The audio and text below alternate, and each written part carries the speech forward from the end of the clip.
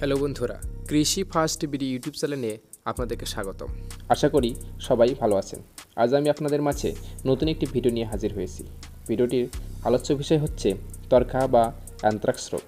আপনাদেরকে জানিয়ে দেই যে, এই চ্যানেলে সাধারণত গরু, মহিষ, ছাগল ভেড়া, হাঁস মুরগির বিভিন্ন রোগ ও তার প্রতিকার এবং চিকিৎসা নিয়ে আলোচনা করা হয়।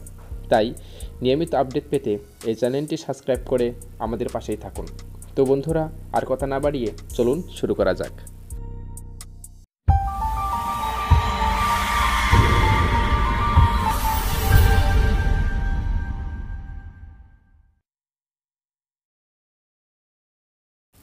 প্রথমে জেনে নেই, তর্কা বা অ্যান্থ্রাক্স রোগ কী?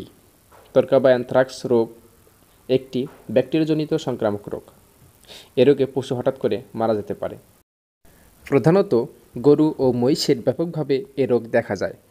তবে ছাগলের এটি হতে পারে। এ রোগটি আমাদের দেশে তর্কা তিলাজ্বর ধরকা বা গলি বলে অভিহিত করে থাকে। ব্যাসিলাস অ্যান্থ্রাক্সিস নামক এক ক্ষুদ্র আকৃতির জীবাণু থেকে এই রোগ সৃষ্টি হয়। এটি এক প্রকার মারাত্মক সংক্রামক ব্যাধি। এ রোগে সংস্পর্শে আসলে যে কোনো প্রাণী এই রোগে আক্রান্ত হতে পারে, এমনকি মানুষও। এটি গ্রীষ্মমণ্ডলের আর্দ্র আবহাওয়ার ব্যাধি। জলা বা ভেজা জমি এই ব্যাধির জীবাণুর অন্যতম উৎপত্তিস্থল। খাদ্য ও পানি থেকে এই রোগ প্রাণীদেহে সংক্রামক হয়। তাহলে বন্ধুরা, চলুন আমরা দেখে নেই যে কীভাবে গরু এবং মহিষের বা ছাগলের এই রোগটি হতে পারে। তার লক্ষণগুলো আমরা এবার ভালো করে দেখে নেই। গরু মাঠে বা বাড়িতে বাঁধা অবস্থায় হঠাৎ লাভ দিয়ে পড়ে মারা যায়। গায়ে উচ্চ তাপমাত্রা যেমন একশো তিন থেকে একশো ছয় ডিগ্রি ফ্যারেনহাইট হয়।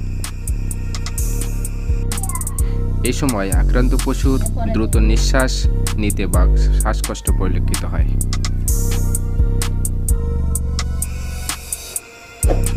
গর্ভবতী গাভীকে গর্ভপাত ও দুগ্ধবতী গাভীর দুধ উৎপাদন কমে যায়।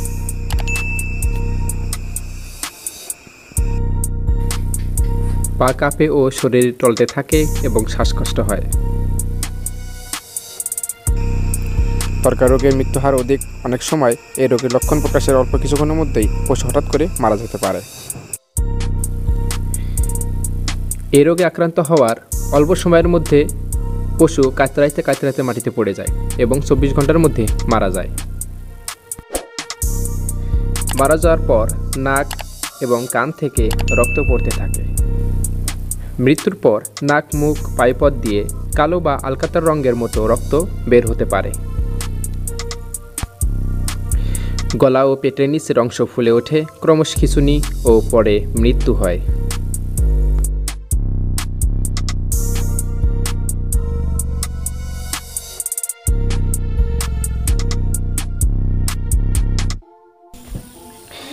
ডিপোসিলিন মাংসপেশিতে দশ মিলি প্রতিটি পশুর জন্য দিনে এক থেকে দুইবার, তিন থেকে পাঁচ দিন দিতে হবে।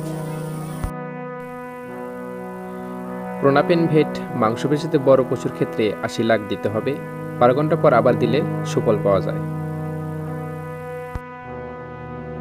স্টেপ টু স্টেপটোপেন দুই দশমিক পাঁচ গ্রাম। মাংসে একশো পঞ্চাশ থেকে দুশো কেজি ওজনের পশুর জন্য বারো ঘণ্টা পর পর কমপক্ষে তিন দিন দিতে হবে। অক্সিসেন্টিন একশো, মাংস বা শিরায় প্রতি একশো কেজি ওজনের জন্য পাঁচ মিলি করে দুই থেকে চার দিন দিতে হবে।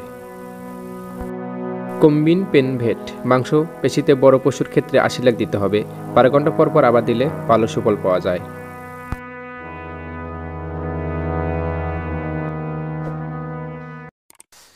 সো বন্ধুরা, ভিডিওটি ভালো লাগলে চ্যানেলটি সাবস্ক্রাইব করে পাশেই থাকুন। আর যদি কোনো প্রশ্ন থেকে থাকে, তা কমেন্ট বক্সে অবশ্যই জানাবেন। দেখা হবে পরের ভিডিওতে। সে পর্যন্ত সবাই ভালো থাকুন। ধন্যবাদ।